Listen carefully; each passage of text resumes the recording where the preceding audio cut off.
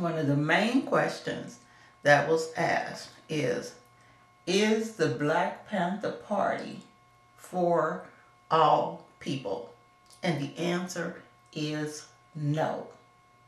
I know that's very difficult for some people to to hear, and I know that you have gotten information from um, some of the the um, Panthers that were there from the beginning.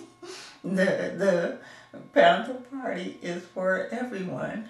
That is not true. That is one hundred percent not true. That is something that changed in the founders.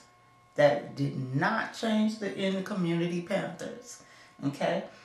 When the Panthers began coming to the community and the community people began joining the Panther Party, it was 100% clear, 100% taught, 100% understood that the Panther Party was 100% for the protection of black people, not for the protection of all people. It was for the protection of black people.